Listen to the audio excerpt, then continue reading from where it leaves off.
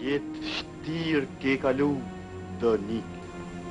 Jo, Gjergj, ti dhe Shqipëria jeni të pandarë në zemrën time. Dhe në qoftë se duart e mia të dobëta të ndihmuan, do të thotë që ato ndihmuan atdheun. Kjo është mburrja dhe lumturia ime, Gjergj. Panteoni i njerëzve të teatrit që themeluan skenën kombëtare po rrallohet.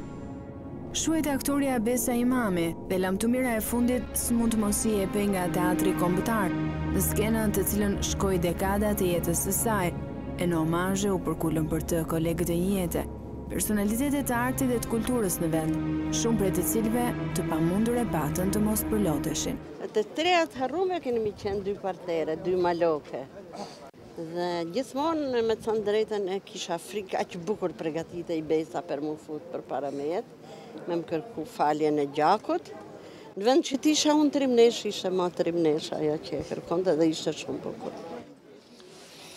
Besa Imami, ndër aktoret e para, që bashkë me kolegët vunë themelet e teatrit tonë. Ishte koha e pasioneve të mëdha, ishte koha e aktorëve të mëdhenj. Ndërmjet aktorëve të mëdhenj, Ishte një zë i fuqishëm i gravet, shquhesh nga thellësia e mendimit, një aktore emocionale, i përjetshëm kujtimi i saj. Ka një repertor të mrekullueshëm, po fatkeqësisht jo të gjithë janë dokumentum, se televizioni filloi vonë edhe jo të gjithë ajo ka qenë protagoniste role të para.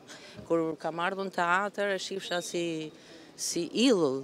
Është një trashëgimi ajo e roleve të saj që veçmas do i duhet brezave. Humbim sot një prej ikonave do të thosha të teatrit shqiptar, të teatrit kombëtar, por dhe të kinemasë. Në traditën tonë emra të tillë kanë lënë shumë, kanë lënë shumë dhe kanë folur shumë sidomos për të rinjtë. Duhet t'i njohim shumë më tepër.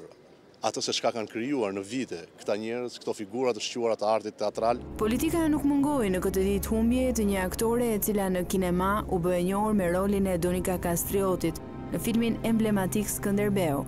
Pasi një ikonë e ekranit, e filmit, e teatrit tonë kombëtar, aktorja e shquar Besa Imami është ndarë nga jeta, duke lënë një dhimbje të thellë, por për fat të mirë duke lënë pas edhe një trashëgimi të shkëlqyer të veprave që ajo ka krijuar me punën e saj.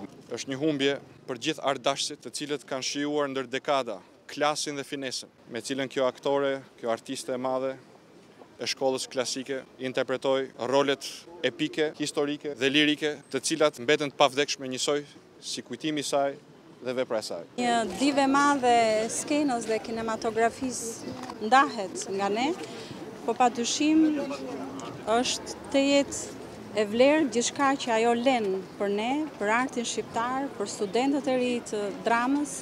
E shuar në moshën 86 vjeçare, pasi prej vitesh vuante nga një sëmundje e rëndë, aktoria Besa Imami ka qenë protagoniste më se 90 roleve në teatër dhe kinema.